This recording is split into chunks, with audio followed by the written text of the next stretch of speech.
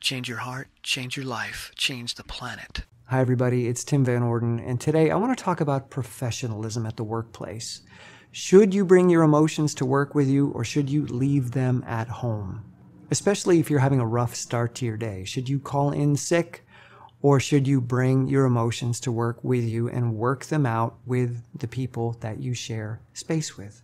So, we're going to dig into this idea of what it means to be a professional and what professionalism is. We're going to start off by looking at the word profess, which means to take a vow or to declare publicly. So a professor then is someone that declares publicly that they are an expert in some field of knowledge. They put out their shingle and they say, I know this, come learn from me. And therefore, a profession is the art or science or skill that they are professing to be an expert in. So, therefore, the word professional is an adjective which applies to skills or learned trades. That's it. But let's dig a little deeper. Let's look at the word expert because a professional, if we use the noun instead of the adjective, is claiming to be an expert in some field, art, science, skill.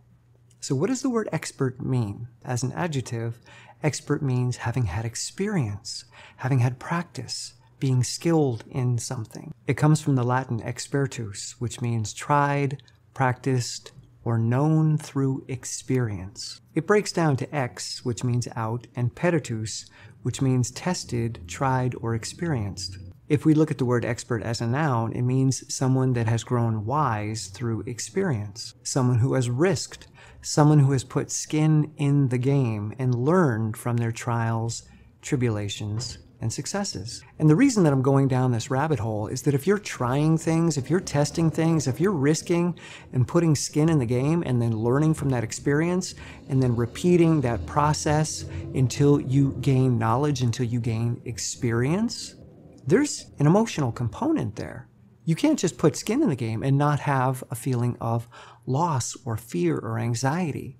So emotions are a big part of experience emotions are a big component of what makes someone an expert. And if we dive a little deeper and look at the word experience, it means knowledge gained through observation or knowledge gained through repeated trials. So, in order to get experience, you have to be willing to put yourself out there. You have to be willing to lose something. You have to be willing to take a little risk. This is how you learn. This is what makes you an expert. And if we go back to the definition of expert as a noun, it is someone who has grown wise through experience. Wisdom doesn't come if you never take risks. If you always play it safe and you never fall down and never learn how to get back up, you're not an expert because you're not wise.